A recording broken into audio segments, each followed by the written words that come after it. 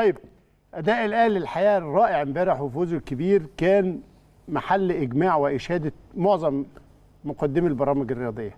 كابتن سيف زاهر في اون تايم سبورت نشوف إزاي شاف أداء وفوز الاهلي الأهلي والمقصة النهارده مباراة كبيرة جدا من جانب النادي الأهلي.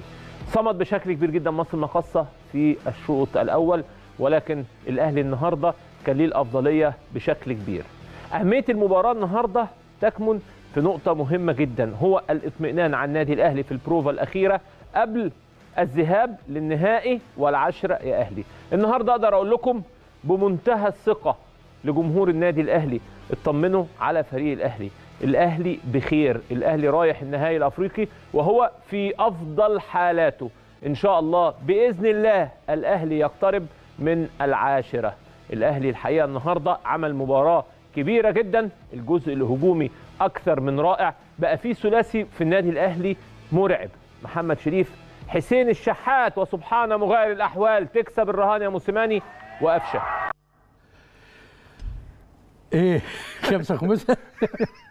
قول لي إيه أنت خمسه وخميسه يا سيف؟ لا يعني هو طبعا أنا بخاف من من ال- ال- الفرح شوف أنا مش من الفرحة.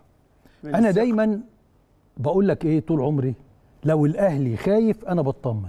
آه. صح؟ آه. ده كتير. صحيح. مش عايز نطمن قوي لأن كل مباراة ليها ظروفها. آه خلاص اللي فاتت لا حلو قوي الكلام كله على اللي فات. لكن مش معنى كده إن اللي جاي لازم يبقى زي اللي فات. خلينا كل مباراة نتعامل آه إنما هو قال كلمة في الآخر عايز اتوقف قدامها. موسيماني واللي عمله مع حسين الشحات. لا موسيماني واللي عمله مع الفرقة لما اداها ست أيام. موسيماني واللي بقى اللي عمله مع قفشة. موسيماني واللي عمله مع السولية إنه بقى يريح. موسيماني واللي عمله مع الشحات. موسيماني واللي بيعمله مع كهربا وجاي مع ديانج. مع ديانج. وأكرم. وأك... وأكرم و... لا موسيماني عايش بتركيز صراحة يعني.